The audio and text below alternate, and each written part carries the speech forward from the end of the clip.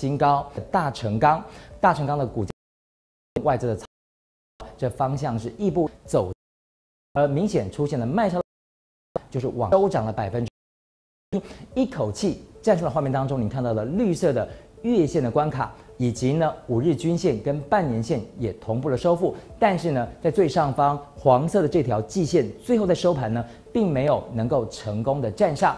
而大成钢的三月份营收四十五点七三亿元，月增了百分之十点一四，年增十五点零八趴。而第一季的营收一百三十四点一亿元，年增了有百分之十五点六六。这也可以从最右边的蓝色的柱状体呢，比起同去年同期，也就是右边的黄色的柱状体，明显。往上来拉高，也可以看得出来。